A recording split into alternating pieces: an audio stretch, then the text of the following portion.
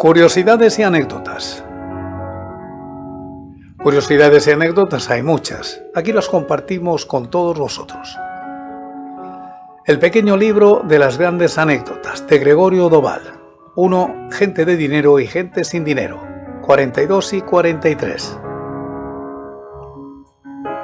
Aunque Andrew Carnegie fue conocido como el rey del acero, no es que él supiera mucho de dicha producción pero sí que sabía cómo manejar a la gente, y fue su talento para la organización y el liderazgo lo que le hizo rico.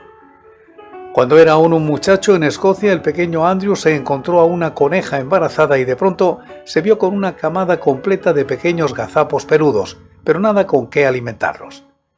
Y tuvo una brillante idea. Pidió a todos los chicos que conocían el vecindario que reunieran todos los tréboles y dientes de león que pudieran para alimentarlos y que él, a cambio, les prometía dar el nombre de cada uno de ellos a uno de los conejitos. Más tarde en su vida, Carnegie confesaría que a su conciencia le preocupaba haber explotado a sus compañeros de juego de esta manera, pero que les dio la única recompensa de la que disponía. Sin embargo, la lección quedó bien aprendida.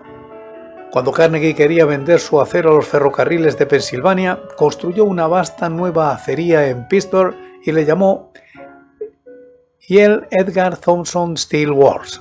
Sucedía que Edgar Thompson era el presidente de los ferrocarriles de Pensilvania, y el hombre estuvo tan satisfecho de que la nueva instalación llevase su nombre que no necesitó más persuasión para ordenar todo el acero que necesitaba a Carnegie.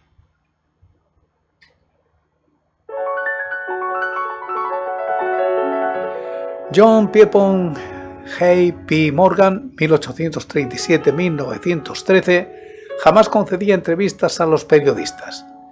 Una vez en Londres, un joven periodista le solicitó una entrevista.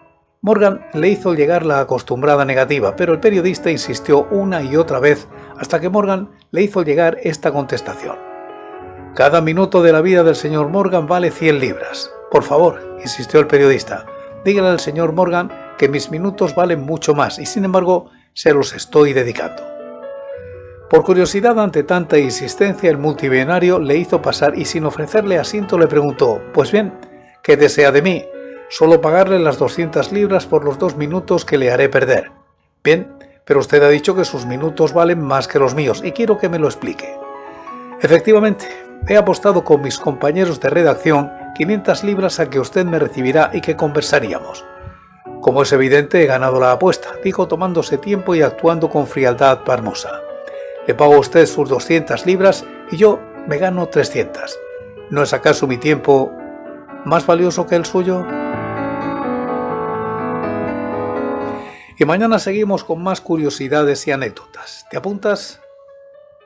Yo te espero.